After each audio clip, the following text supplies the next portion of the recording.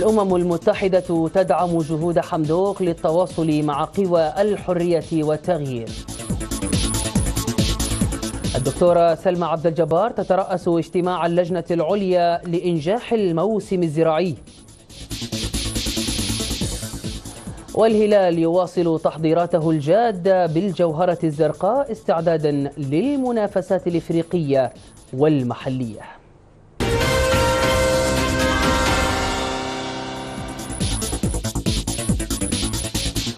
نشرة الأخبار من قناة الهلال الفضائية معكم فيها محمد السعودي وإلى تفاصيلها إذ أكدت الأمم المتحدة دعمها لجهود رئيس الوزراء الدكتور عبد الله حمدوك للتواصل مع قوى الحرية والتغيير ولجان المقاومة.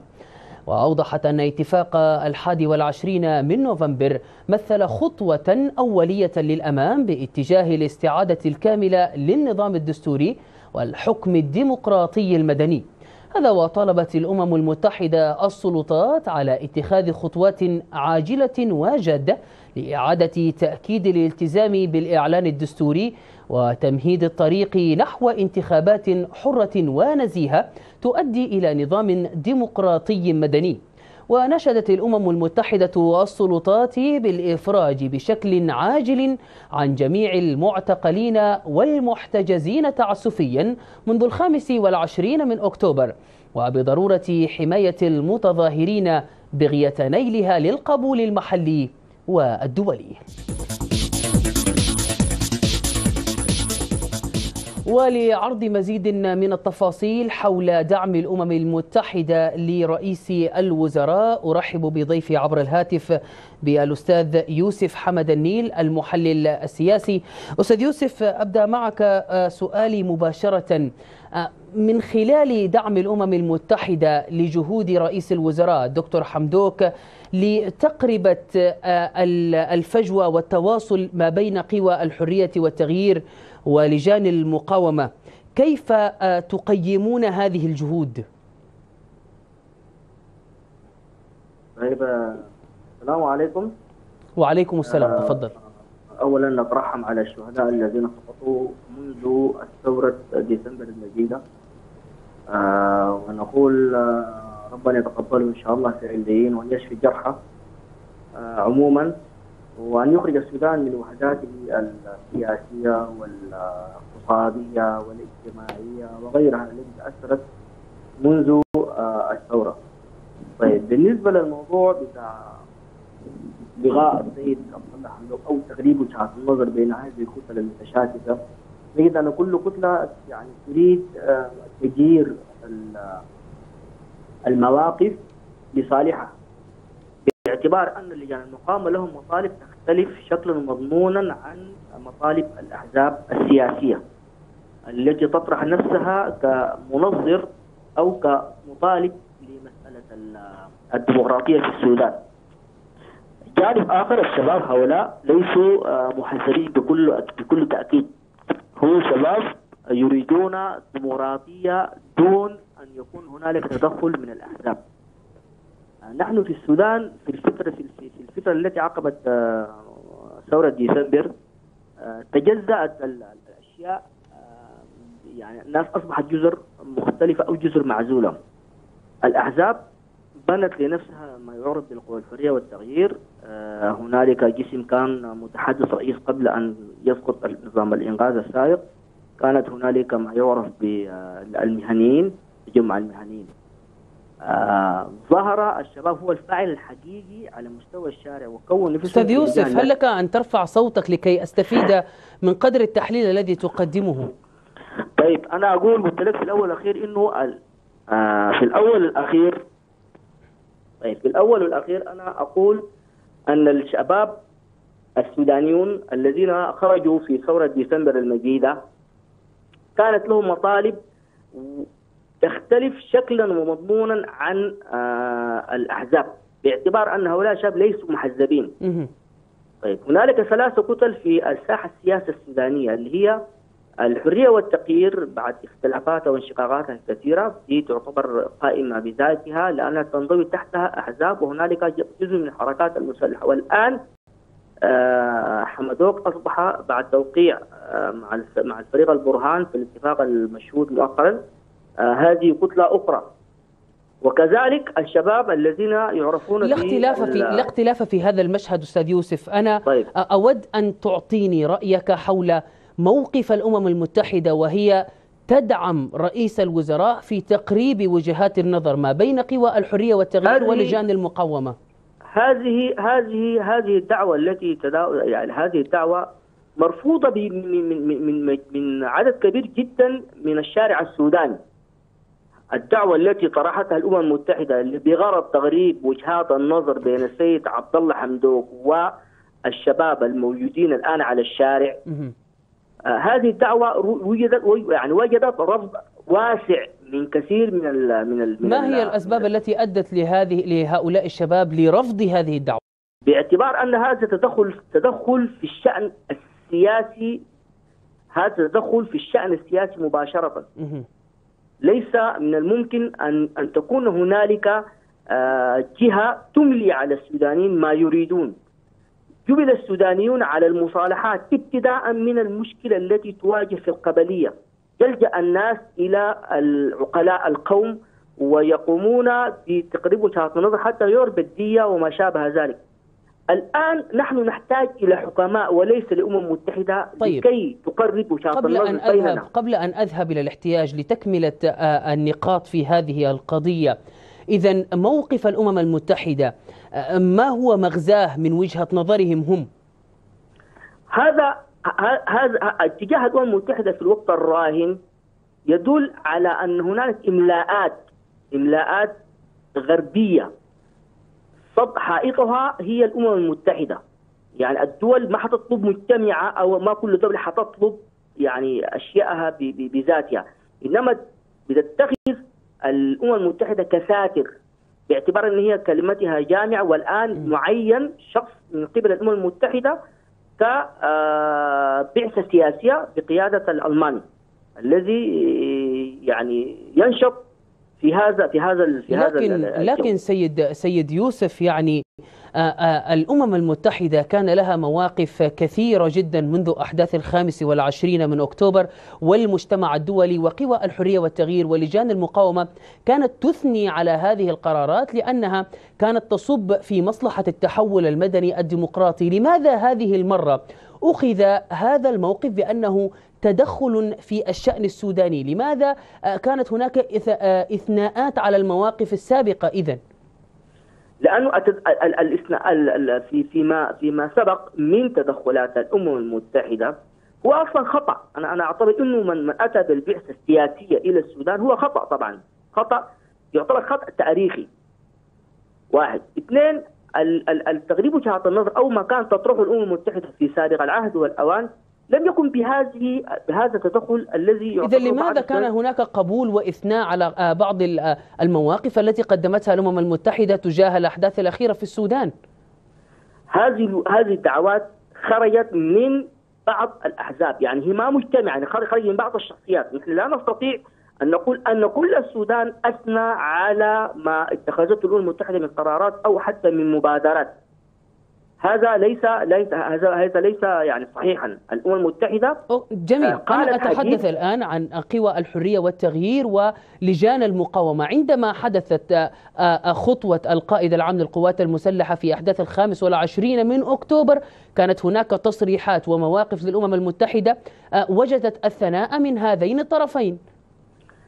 حاولت هذه البعثة السياسية وأن تقرب بين وجهات النظر والدليل على ذلك الدل... هي حاولت أن تقرب لكن فشلت في كثير من المبادرات التي طرحت أثناء الأزمة. قبل أن يوقع السيد الدكتور عبد الله حمدوك رئيس الوزراء كانت كان البعثة تنشط في تقريب وجهات النظر بين الطرفين المتشاكسين أي المجلس العسكري بغزة الفريق أول عبد الله الفريق برهان والسيد الدكتور عبد الله حمدوك. لكن في الأخير كل هذه فشلت. الدليل على ذلك في حديث الفريق اول آه البرهان الذي أثنى على قائد ثاني الدعم السريع أنه هو الذي استطاع أن يجعل وجهات النظر مقربة بين الطرفين. هذا يدل على أننا كسودانيون نستطيع أن نخرج من أي إشكال يقع بيننا ونستطيع أن نطرح مشاكلنا على الساحه الساحه أضرب طيب. مثل بسيط. حدثت أزمة في ابان عهد آه، الرئيس الراحل رحمة الله عليه جعفر محمد نويري في في في في مطلع ال- السبعينيات أدت الاختلافات السياسية والتشاكسات بعد أحداث المرتزقة 76 وما قبلها من حدث الجزر الابا أدت في يوليو 77 لما يعرف باتفاقية آه، المبادرة الوطنية التف كل حولها السودانيون رغم اختلاف بعض الناس. جميل يعني وصفوها الآن, بأنها الآن تنازل وبإيجاز سيد يوسف كيف أيوة. ترون مطلوبات الأمم المتحدة وهي تدعو إلى اتخاذ خطوات عاجلة آه، وجادة للالتزام بالإعلان الدستوري وناشدت آه، السلطات بالإفراج بشكل عاجل عن جميع المعتقلين والمحتجزين وبضرورة حماية المتظاهرين كيف تعلق؟ أنا أجيك لهذا بمضر المثل ذكرته لك قبل قليل بتاع 7 بتاع 77 أجيك لأنه المطالب السياسية في السودان هي هي اللي هي إخراج كافة المعتقلين السياسيين. مم. أنت تريد بناء الثقه كويس؟ أنت تريد بناء الثقه بين كل الأطراف. يجب أن فعلا أن أن يطلق كافة السجناء السياسيون. واحد. اثنين. يجب أن يكون هنالك استكمال للهياكل السلطة في المرحلة هذه بوجود برلمان يشرع ويستطيع أن يضغط على الطرفين باعتبار أنه هو الجسم الذي يضبط كل هذه الحلقات المفرغه، نحن مشكلتنا الآن هذه الهياكل التي لم تستكمل وهذه والمجلس التشريعي الذي تأخر كثيرا. نحن نريد أن يكون هنالك سودان آه، معافى سليم صحيح، الشباب لهم دور رائد وهم أكثر من 65% من نعم قوام نعم وضحت. الرؤية شكرا جزيلا السيد يوسف حمد النيل المحلل السياسي. كنت معي عبر الهاتف في هذه النشرة. شكرا لك. أعرب رئيس مجلس الوزراء الدكتور عبد الله حمدوك عن تقديره للاتحاد الأوروبي لدعمه المستمر تجاه مسار الانتقال والتحول المدني الديمقراطي بالبلاد. جاء ذلك لدى لقائه سفير الاتحاد الأوروبي بالخرطوم السيد روبرت فاندول هذا وقدم رئيس الوزراء خلال اللقاء شرحا للخطوات الحالية التي يتم تنفيذها من الاتفاق الإطاري والتي تشمل إطلاق سراح المعتقلين السياسيين واستمرار العمل لحماية المظاهرات السلمية وعدم التعرض للمتظاهرين ومراجعة القرارات التي اتخذت منذ انقلاب الخامس والعشرين من أكتوبر. كما تناول الاجتماع عملية التشاور حول الإعلان السياسي المذكور بالاتفاق الإطاري والذي على أساسه سيتم التوافق بين مختلف قوى المجتمع السوداني الفاعلة. وبموجب هذه التوافقات يجري تعديل الوثيقة الدستورية وتشكيل حكومة التكنوقراط القادمة.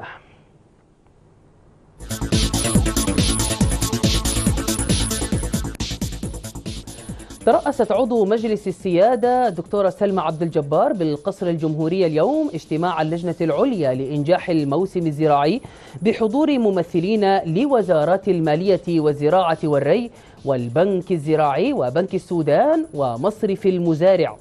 وقال المهندس بابكر عثمان عضو اللجنة العليا إن الاجتماع ناقش التحضيرات الجارية للموسم الزراعي الشتوي لا سيما توفير سماد اليوريا والذي سيتم توفيره قريبا للمزارعين.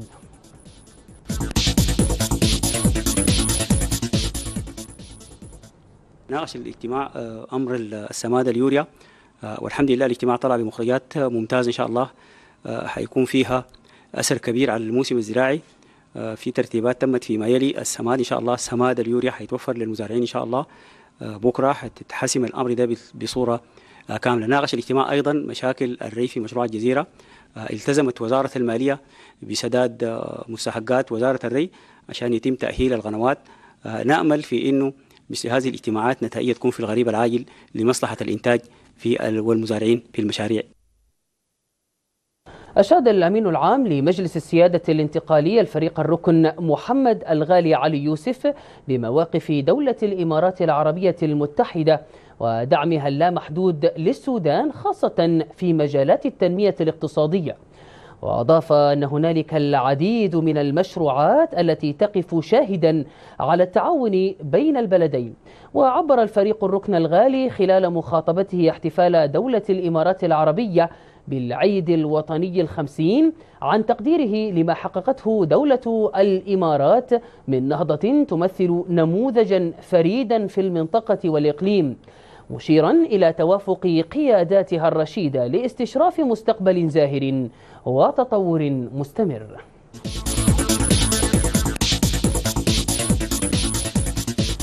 حثت منظمة الصحة العالمية أو منظمة الصحة العالمية الدول بعدم الذعر لمتحور أوميكرون.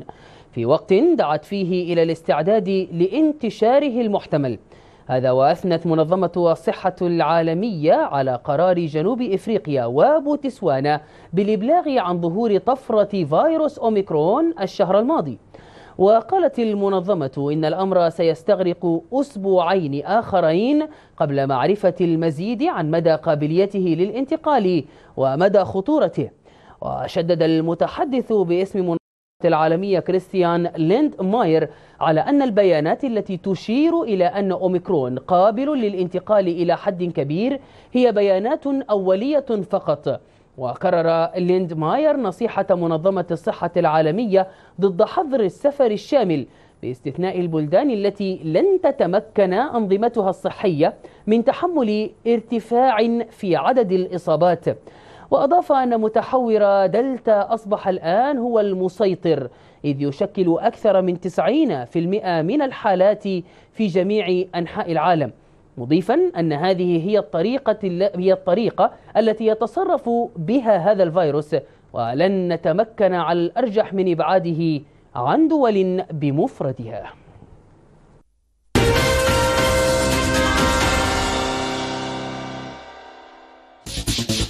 في الشأن الرياضي إذ يواصل فريق الكرة لنادي الهلال سلسلة تدريباته التحضيرية استعدادا للسباق الإفريقي والدوري المحلي تحت قيادة البرتغالي جواو موتا المدير الفني للفرقة الزرقاء وطاقمه المعاون حيث أجرى الفريق حصة تدريبية عصر اليوم بملعبه. هذا ويعمل ريكاردو سيلفا على زيادة المخزون البدني للفرقة. من جانبه واصل المحترفون الجدد تدريباتهم مع الفرقة بكل شغف بقيادة النيجيري إبراهيم مصطفى ودرة الوسط الملوي جيرالد فييرا جونيور. هذا وسيغادر الفريق يوم الاثنين القادم صوب مصر لأداء معسكر إعدادي ستتخلله ثلاث تجارب مع الأندية المصرية. وتعول جماهير الفريق على الكوكبة الحالية على إعادة أمجاد الهلال ضمن دوري الكبار الإفريقي هذا الموسم.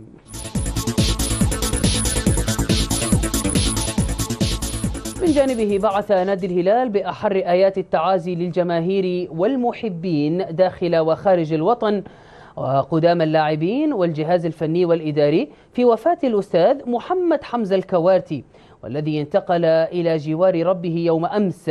هذا ويعد الراحل أحد أبرز رجالات الهلال عبر التاريخ بما قدمه من عمل مميز وجهد مقدر في سبيل إعلاء الكيان ورفعته. هذا وتقلد الراحل العديد من المناصب منها سكرتير عام ونائب السكرتير وأمين خزينة ورئيس قطاع رياضي وعضو مجلس إدارة. وظلت تجمعه علاقات وطيدة مع كافة فئات النادي والوسط الرياضي بصورة كبيرة. كما يعد أحد نجوم المجتمع السوداني البارزين. من جانبه أعلن نادي الهلال إغلاق أبوابه حدادا على الراحل لمدة ثلاثة أيام.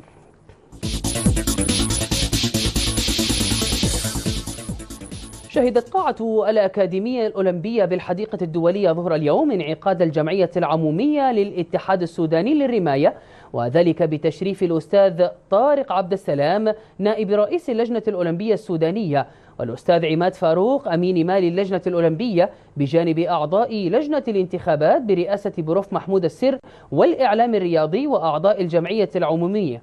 وخلال الجلسة تمت إجازة خطاب الدورة الذي حمل العديد من النجاحات والإنجازات والتي حققها المجلس خلال الدورة الماضية.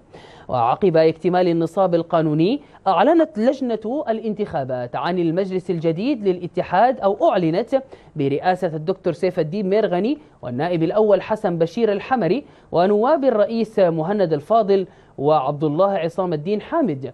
بالإضافة لأعضاء المجلس كل من عبد القادر فضل المولى ومحمد حسن نوفل ومنذر منذر عبد الرحيم وأحمد الصادق وإيهاب سيد أحمد ورفاء حسن. خلف الله.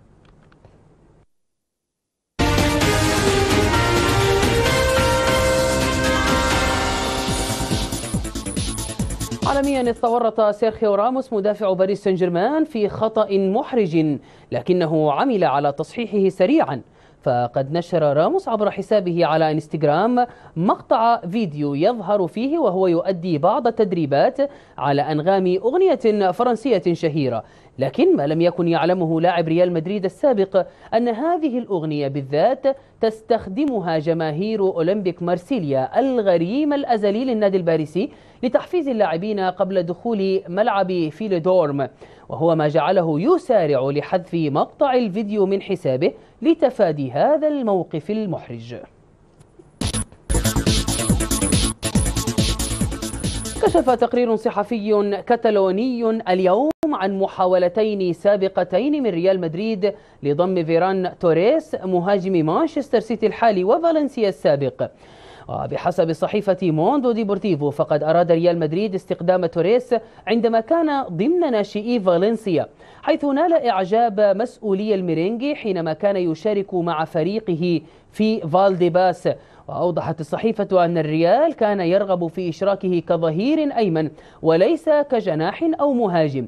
لكن لم تنجح محاولة ضمه وكرر النادي الملكي محاولته لضم توريس عندما كان في طريقه إلى مانشستر سيتي إلا أنه فشل أيضا.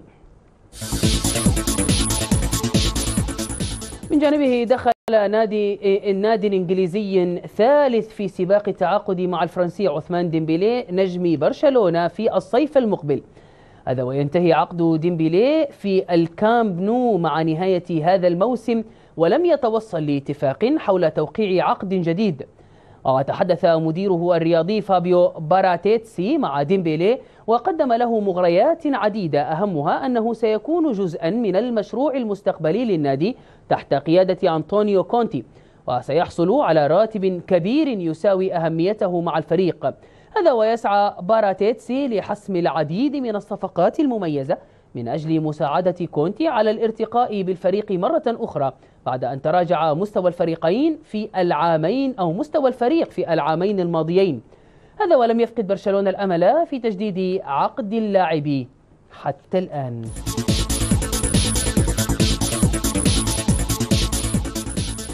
قبل ختام هذه النشرة نعود ونذكر بأهم وأبرز ما جاء فيها من عناوين. الأمم المتحدة تدعم جهود حمدوك للتواصل مع قوى الحرية والتغيير. الدكتورة سلمى عبد الجبار تترأس اجتماع اللجنة العليا لإنجاح الموسم الزراعي. والهلال يواصل تحضيراته الجادة بالجوهرة الزرقاء استعدادا للمنافسات الإفريقية والمحلية.